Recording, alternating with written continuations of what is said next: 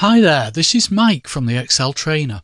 Working with dates in Excel can be a bit of a nightmare. So in this video, I'm going to show you how Excel handles dates with three specific scenarios. In the first scenario, we'll look at how Excel recognises and handles dates at a basic level. In the second scenario, I'll show you how to calculate how many days there are between the current date and Christmas. Although it doesn't have to be Christmas, it's basically the difference between two dates. And the third demo will cover how to convert a date into a day name for summary purposes. So let's get started. In Excel, the simplest way to enter a date into a cell is just to type it in. As long as you enter it in using a format that Excel recognises, it will be treated as a date. So, for example, in A1, I'm going to type 06 slash 02 slash 2022.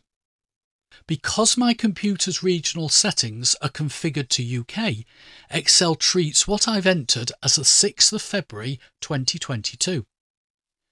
If I go to the number section on the Home tab of the ribbon, click the drop down arrow and select Long Date, it changes the format to display the 6th the full name of the month 2022.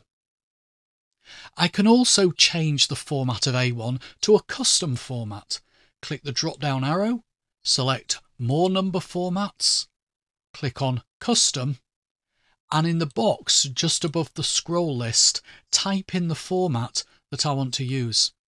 In this case, I'm going to type four Ys, then a dash, and then three M's and a dash and two Ds. It's not case sensitive, so that gives me the full year, the first three characters of the month name, and the day number. Click on OK, and now I get the 6th of February 2022 in that format. Now, if I click the drop down arrow in the number section and click General, I get a number. But what is 44,598? What does it represent? Well, in Excel, a date is actually a numeric value. It's known as a serial number. And the number represents the number of days since the 1st of January 1900, which is the first day that Excel recognises. Knowing that behind the scenes a date is a number helps you understand how Excel calculates dates, and sometimes calculations involving dates display the result as a serial number. So, unless you understand the correlation between dates and numbers, you might think that you've done something wrong. In the second demo, I want to calculate how many days there are until Christmas. Of course, I could put any date into B2, but I'm just using Christmas as an example. I want B1 to automatically update every day, and for that to happen, I'd either have to type in the current date each day into B1 or use a special function which is linked to my computer's internal clock. And that special function is the today function. So I type equals today, open bracket, close bracket, and press enter. And it's treating that as a date. Today, the day I'm recording this, is the 16th of January 2022, so it's put that date into B1. I can change the appearance of that cell, which I think I'll do so that it's consistent with B2. I'll make that long date as well. And then to do the calculation, to calculate how many days there are till Christmas, it's really the number of days between those two dates.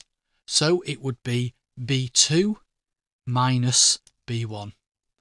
Now I'd like to make it more generic so that it can be used for any year without typing the date in. So I'll just delete the Christmas Day date. To do this, I'll use the date function, which lets me create a date from three values or three cells, one containing the year, one containing the month number, and one containing the day number. So in B2, I'll put equals date open bracket.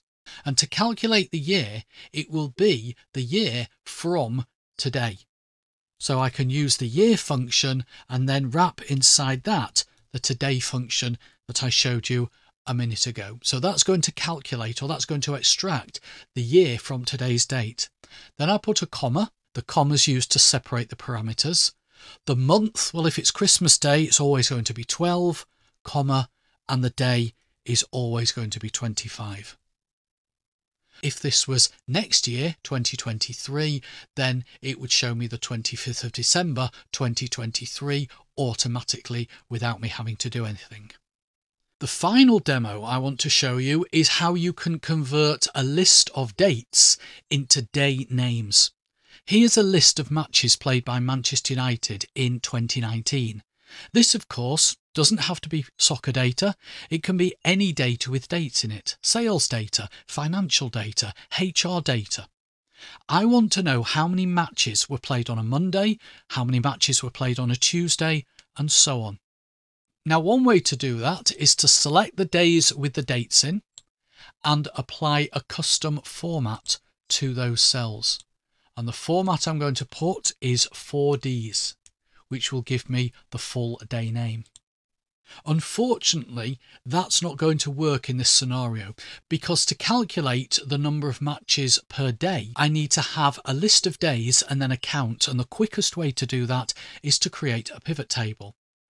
But although it appears to have day names in column A, behind the scenes, I've still got real dates. So I'm going to undo that. And what I'm going to do is add a new column in column H, which will have the names of the days. Now, before I do that, the data is stored in a proper Excel table. We can tell that because we have the table design tab there. And if I click on it, the name of the table is TBL matches.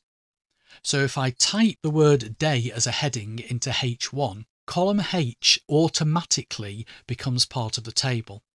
And then I can go to H2 and type in a formula to calculate the day name from the date. And that formula will be equals text, open brackets, select A2, and because column A is part of the table, it doesn't put A2 in the formula, it puts the column name in, then a comma, and then in double quotes, 4Ds.